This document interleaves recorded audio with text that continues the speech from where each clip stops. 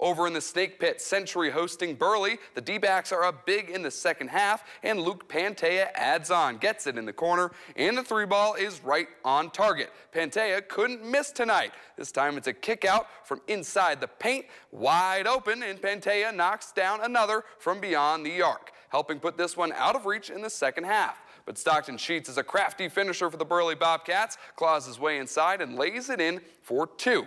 More from Sheets, gets it at the top of the key, couple of dribbles, and the pull-up elbow jumper is pure. The Bobcats not going away.